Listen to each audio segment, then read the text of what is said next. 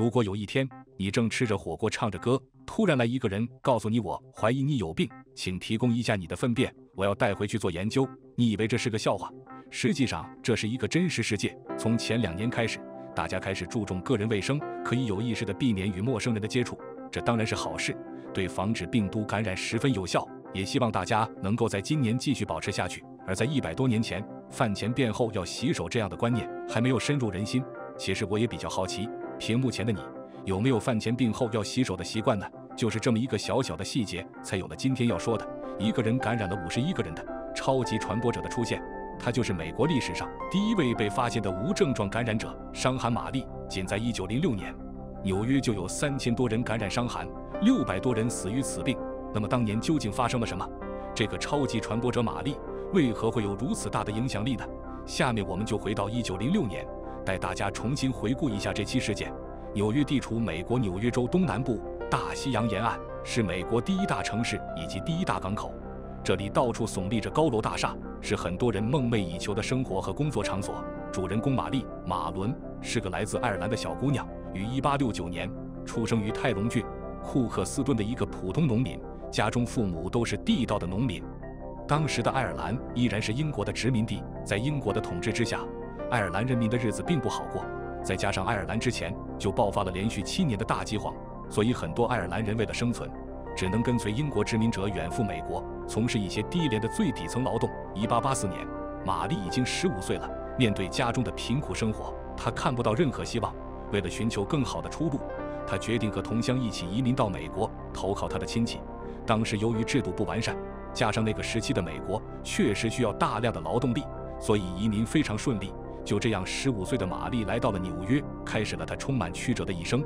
当时的爱尔兰移民从事的工作用三个字可以形容：脏乱。还没有成年的玛丽根本就干不了体力活，为了生存，她只能以很低的薪资去给一些有钱人家当佣人。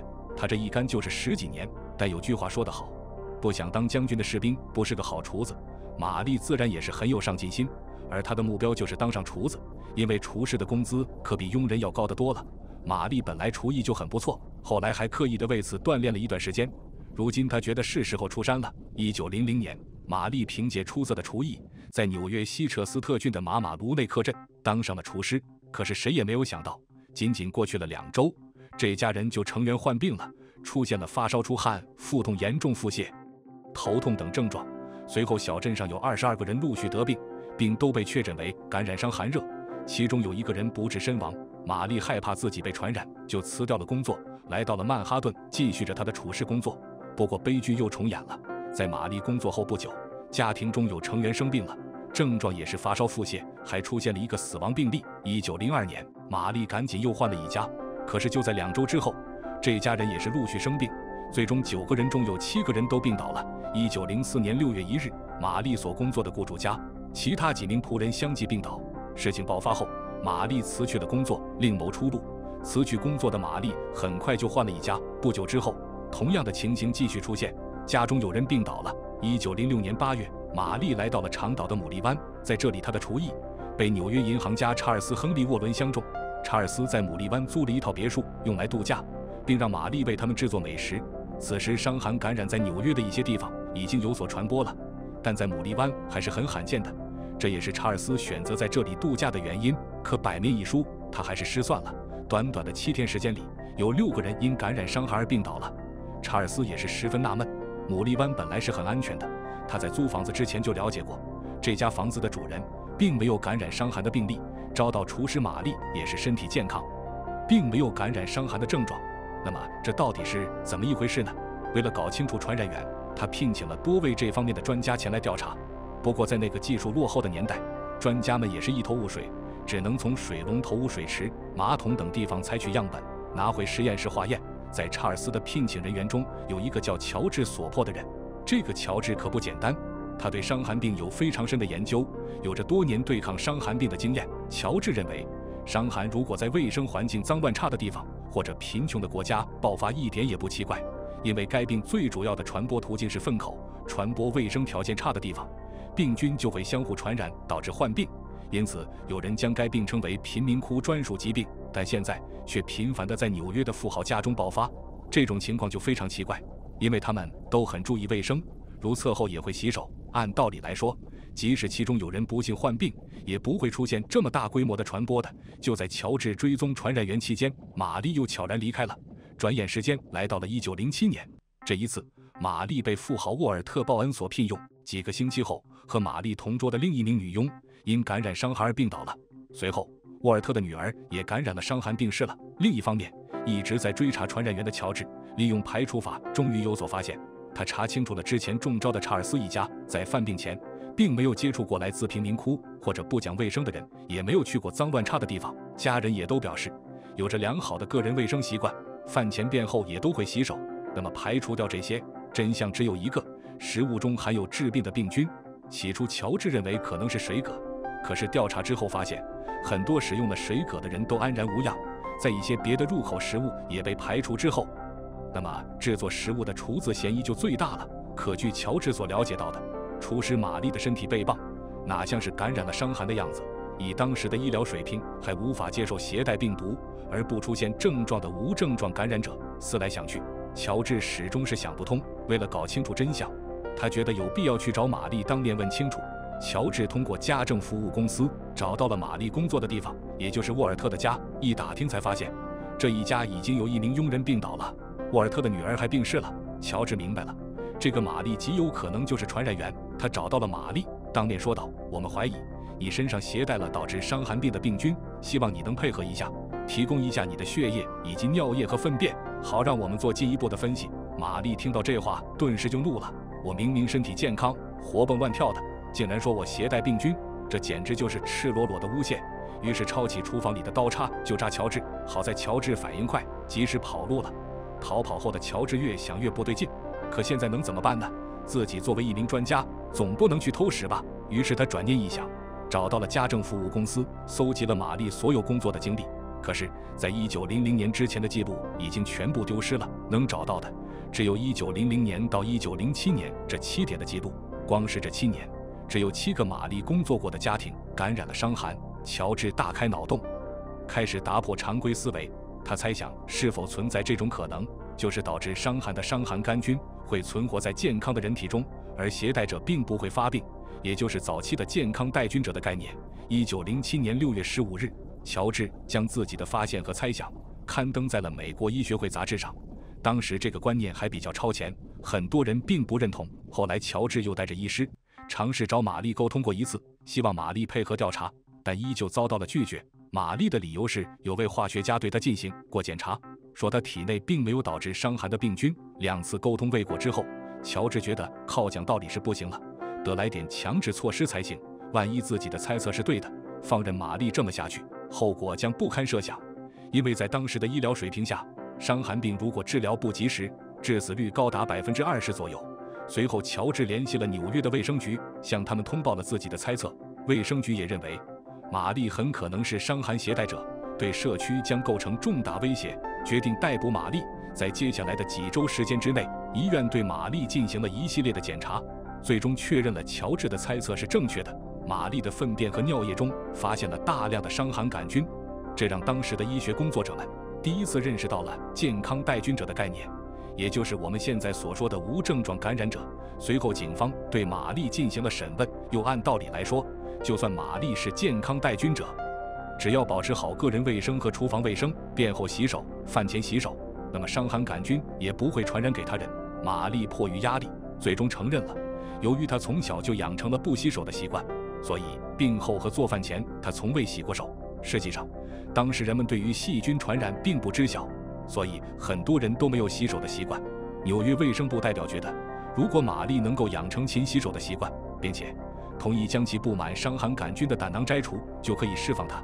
可是这遭到了玛丽的严厉拒绝。没办法，卫生部只好将玛丽隔离在北兄弟岛的合并医院。这个北兄弟岛是个保护区，在十九世纪后期，它被建造用来收容一些患上天花的受害者。对于被隔离的玛丽来说，她当然是非常不满意的。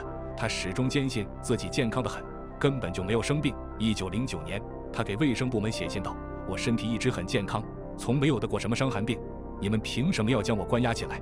我就像豚鼠一样活着，每周还得进行三次检查，这非常不公平。随后，当地的一些报纸也刊登出了有关玛丽的新闻报道。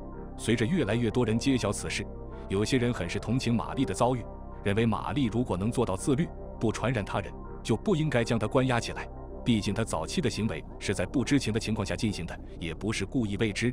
卫生部觉得也有道理，在得到玛丽出去后不再做厨师的承诺后，卫生部就将其释放了。此时距离玛丽被隔离已经过去三年了，被释放的玛丽确实没有再找厨师的工作了。不过为了生存，还是得干活。他干回了老本行，给别人打打杂、洗洗衣服什么的。虽然在辛苦程度上差不多，但这份工作远远没有厨师的工资高。对于拿惯了高数的玛丽来说，普通佣人的工作显然已经满足不了她了。很快，玛丽就动了坏心思，她想继续从事高薪的厨师工作，但是又不想让卫生部门知晓，所以她偷偷给自己改了名字：玛丽布雷斯霍夫和玛丽布朗。开始用这两个名字在各个场所应聘厨师。由于他刻意躲开了卫生部门，所以卫生部门并不知道玛丽又做回了厨师。更加糟糕的是，玛丽没有改掉不洗手的习惯，无论走到哪里，都有人因为吃了她制作的食物而感染伤寒。一九一五年，纽约四龙女性医院又爆发了严重的伤寒疫情，有二十五个人因伤寒病倒了，其中两人因救治不及时去世。这次医院的医生直接找到之前发现致病源的乔治。索破乔治根据之前的经验，二话没说，直奔医院的厨房。可厨师已经下班了。这时，医生拿出了早已准备好的厨师笔记样本。乔治一看，当时就确定了这就是玛丽的自己。乔治马上将这个情况通知了卫生部门。一九一五年三月二十七日，卫生部门联合纽约警方，第二次将玛丽逮捕，并送回了北匈利岛实施关押。如果玛丽不同意摘除病菌所在的胆囊，那么他将面临终身隔离。尽管如此，玛丽依旧不同意摘除胆囊。就这样，他接下来的后半生都将在岛上度过。不过，玛丽只是隔离，并不是关押，所以生活倒是自由。她的事件后来被媒体广为报道，人们称她为“伤寒玛丽”。经过此事之后，玛丽也算是个公众人物，时不时就有记者前来岛上采访玛丽。不过，没有人敢靠近玛丽，也不敢接受玛丽送的水果和礼物。十七年后，一九三二年圣诞节的早晨。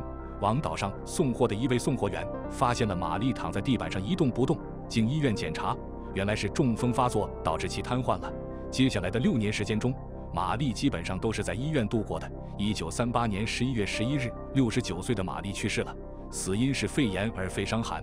玛丽死后，医院对其遗体进行了检查，发现她的胆囊中确实有大量的活性伤寒杆菌，很可能这些病菌跟随了其一生，但是并没有使他治病。这也是美国发现的第一个健康的伤寒杆菌携带者。后来也有很多人把这种无症状感染者称为“伤寒玛丽”。我们回顾玛丽的一生，官方确定的是她至少感染了五十一个人，其中导致了三人死亡。但实际上，在一九零零年之前，有关玛丽的行踪无法确定。也许在那个时候，她就已经携带了伤寒病菌了。她到底感染了多少人，已经无人知晓了。人们只知道，在当时的纽约，突然出现了大量的伤寒并发症状。也许这些病的源头就是玛丽。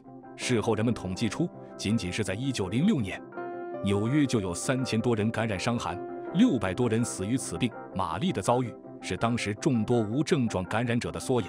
可为何只有她造成了如此恶劣的影响呢？重要的原因还是她充当厨师的同时还不注重个人卫生，导致厨房卫生的意识又差，所以才导致了如此多的人患病。当时的医疗水平受限。我们也不能用现在的眼光去评判当时的做法。留给我们思考的是，当个人利益和公众利益发生冲突时，该如何取舍？在当时，有一些人会对玛丽的穷苦生活报以同情，但我也希望这些人能将这份仁慈给予那些受害者们。善良的本质是对生命的尊重。其实，无论是谁，当走进厨房的那一刻，保持卫生就已经不再是一个个人问题，而是对家人、对亲朋好友的一种责任。虽然我们现在是身处在和平年代。但是，每当我们回顾历史，会发现，在历史的车轮之下，埋葬的是无数的冤魂和枯骨。可以说，人类社会的发展史，俨然就是一部战争史。虽然我们不喜欢战争，但是也有人说是战争推动了科技创新的脚步。每一场战争都给人类留下了不可磨灭的伤害。与此同时，它又在无意中催动了科技社会更快的发展。世界上每一个国家都曾遭受过残酷的战火洗礼，甚至就在此刻，战火正在某处角。落发生。然而，世界上有这么一个国家，二百多年以来从不受战火侵扰，哪怕它周边所有的国家都陷入疯狂的战乱，它也能安然无恙。泰然若智。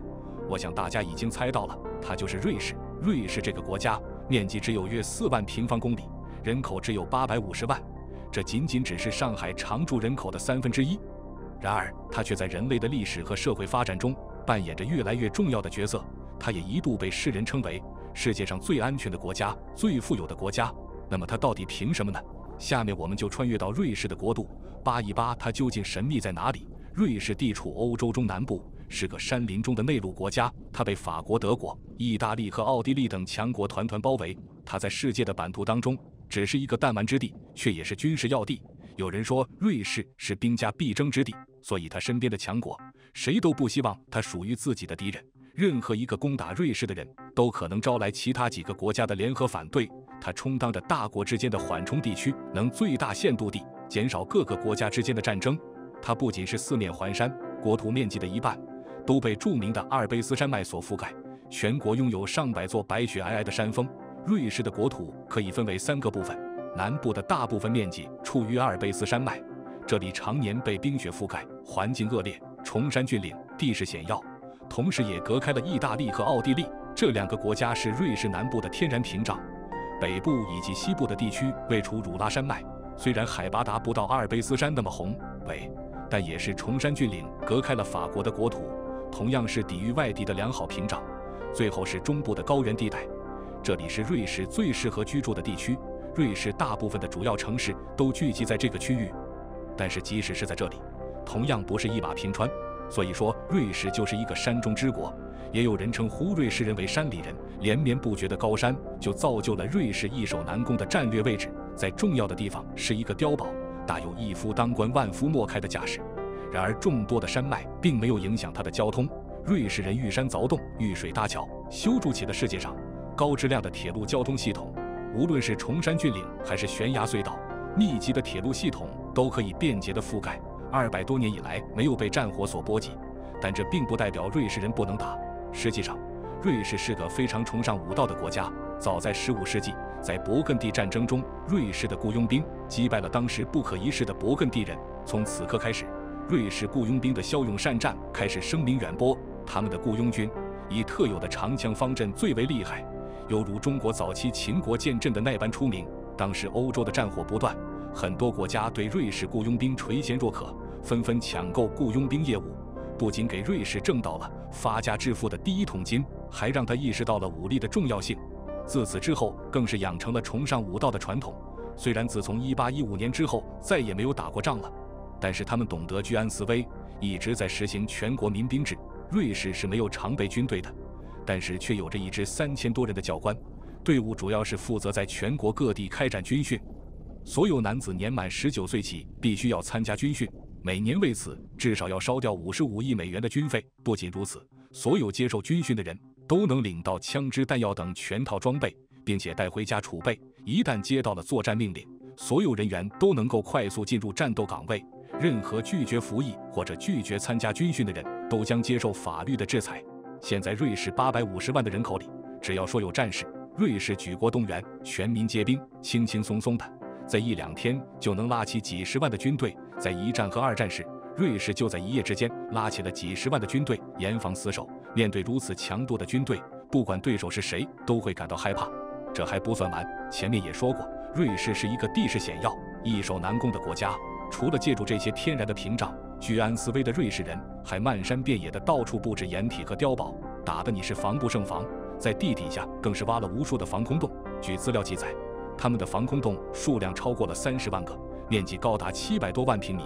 后期建造的房子也必须要配有防空洞。瑞士人口一共也就八百多万人，但是防空洞的承载量在九百多万左右，战时覆盖率超过了百分之一百。一也就是说，一旦有大的战争或者核战争，不光瑞士所有的人和宠物可以躲进防空洞，还能搭上几个朋友。他们把小小的国家武装的跟铁王八一样。另外，瑞士人还贼硬气。只要你敢和他开战，他立马就会拉起全国人民跟着你干。打不过就躲进漫山遍野的掩体和碉堡来跟你打油漆。你如果采用无差别轰炸，那么他就躲进防空洞。你就是把整个瑞士轰炸个遍，他依然能够安然无恙。他们的防空洞连核弹都不怕，他们还在火车轨道、桥梁等重要地段都安装了炸药，战士一来就可以引爆，来个玉石俱焚。把敌军困在崇山峻岭之中。更令人恶心的是，就算你费了九牛二虎之力，把瑞士这个铁王八给啃了下来，可是你又得到了什么呢？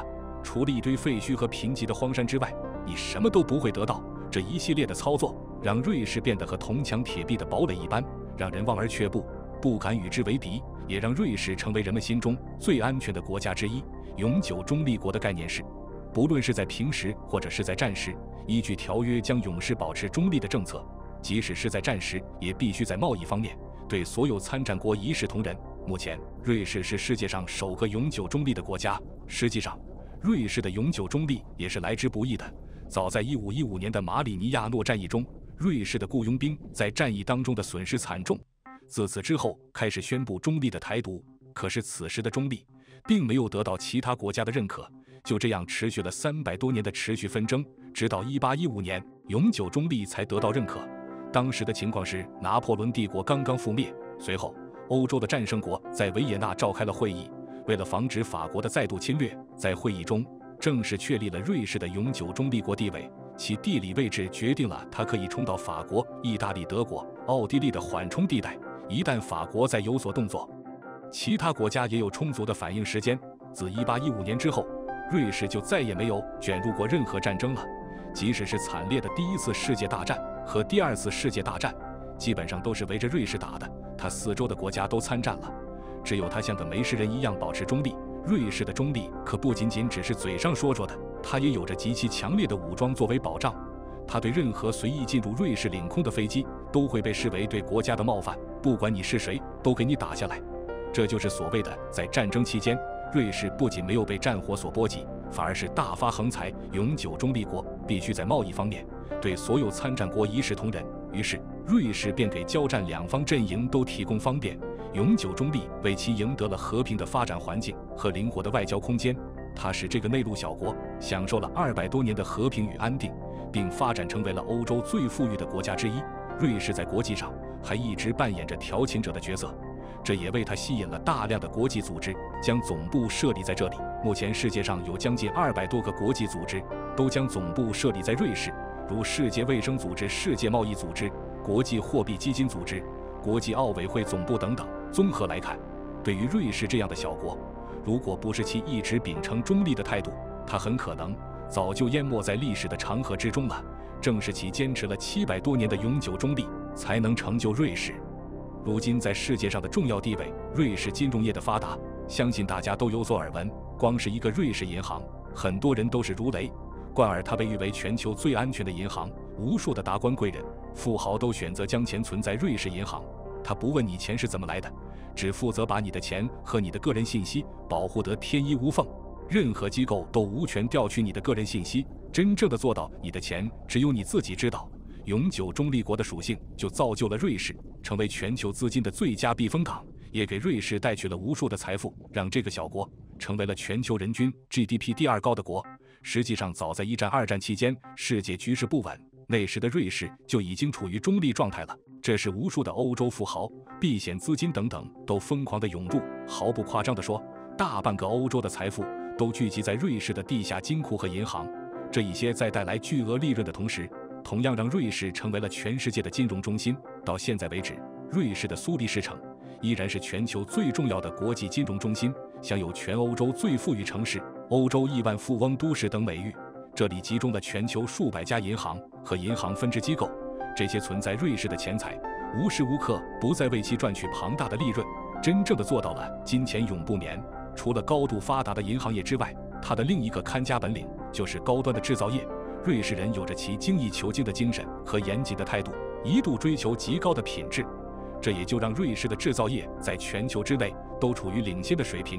目前，瑞士在机床、高端刀具、制药、钟表业都处于世界的领先水平。它才是享誉世界的品牌名表的代言词，瑞士制造代表了制表的最高水准。大家耳熟能详的劳力士、百达翡丽等，皆源自瑞士。一八五三年，在瑞士的利洛克，一个只有八千五百人的小镇经商装配工查尔斯·菲里天梭与他的制表工匠儿子查尔斯·埃米尔创立了一个全新的制表作坊，这就是天梭表的诞生之地。早期制作的钟表大多以黄金为材质，装饰丰富，结构精密复杂。作为天梭表的创始人，艾米尔极具勇敢和创新的精神，从一开始就让品牌拓展到了国境以外。1858年，天梭表走出国门，来到了俄国，受到俄国贵族的欢迎。随后又继续走向欧洲和美洲，并且凭借过硬的品质，在国内外的展览和技术大赛中屡获殊荣。2003年的时候，为庆祝其品牌诞生150周年，以其诞生地利洛克命名，推出了最具天梭风格的腕表——利洛克自动系列。该表的整体设计。彰显出了悠远的历史感，让人仿佛置身于宁静的瑞士小镇中。二零一五年，天梭与冰川三千雪山景区携手合作，建造了世界上首座在三千米高处连接两个峰顶的索桥——天梭峰顶索桥。该索桥为游客提供了观赏雪山的绝佳角度，并在索桥的尽头震撼呈现了天梭全新打造的藤制系列。摄中可以看出。天梭一直与瑞士的阿尔卑斯山有着分不开的渊源，一直秉承着创新源于传统的理念。logo 中的家和瑞士的国旗相同，是品质的象征，展现了品牌自1853年来不断传承的可靠质量。好了，以上就是本期视频的所有内容，哪个让你印象最深刻呢？欢迎在下面的评论区里告诉我们。如果您喜欢这期视频，记得帮研究院点个赞，感谢您的收看，我们下期再见。